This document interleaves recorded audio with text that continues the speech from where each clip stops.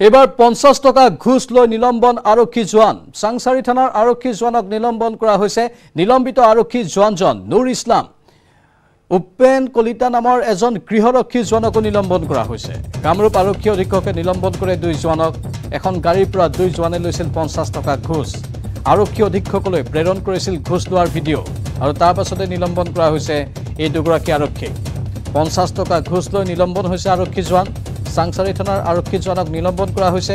নিলম্বিত আৰক্ষী জোৱানজন নুৰ ইছলাম ইফালে উপেন কলিতা নামৰ এজন গৃহৰক্ষী জোৱানকো নিলম্বন কৰা হৈছে। কামৰূপ আৰক্ষী অধীক্ষকে নিলম্বন কৰে দুই জোৱানক। এখন গাড়ীৰ পৰা দুই জোৱানে লৈছিল পঞ্চাছ টকা ঘোচ।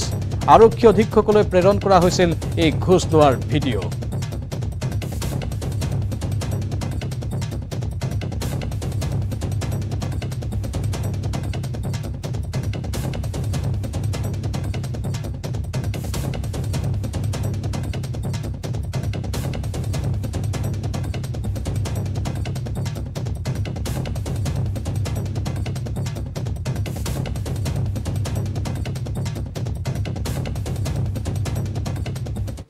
পশ্চিমবংগৰ মুখ্যমন্ত্ৰী মমতা বেনাৰ্জীক প্ৰধানমন্ত্ৰীৰূপে চাব বিচাৰে ৰাইজৰ দলৰ সভাপতি তথা শিৱসাগৰৰ নিৰ্দলীয় বিধায়ক অখিল গগৈয়ে।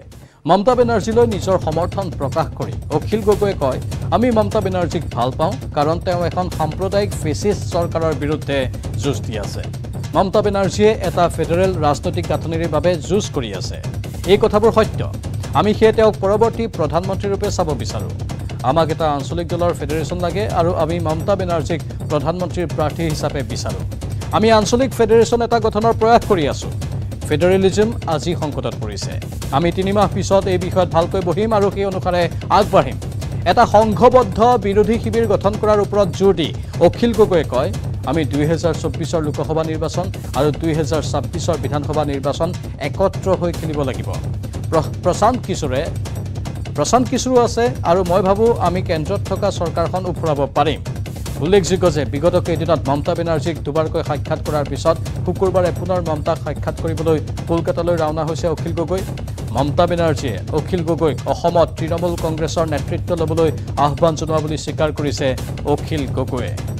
অত্যন্ত গুৰুত্বপূৰ্ণ এটা খবৰ ৰাজনীতিৰ বাবে কাৰণ পশ্চিমবংগৰ মুখ্যমন্ত্ৰী মমতা বেনাৰ্জীক প্ৰধানমন্ত্ৰীৰূপে চাব বিচাৰে ৰাইজৰ দলৰ সভাপতি তথা শিৱসাগৰ সমষ্টিৰ নিৰ্দলীয় বিধায়ক অখিল গগৈয়ে। মমতা বেনাৰ্জীলৈ নিজৰ সমৰ্থন প্ৰকাশ কৰি অখিল গগৈয়ে কয় আমি মমতা বেনাৰ্জীক ভাল পাওঁ কাৰণ তেওঁ এখন সাম্প্ৰদায়িক ফেচিষ্ট চৰকাৰৰ বিৰুদ্ধে যুঁজ দি আছে। মমতা বেনাৰ্জীয়ে এটা ফেডাৰেল ৰাজনৈতিক গাঁথনিৰ বাবে যুঁজ কৰি আছে। এই কথাবোৰ সত্য।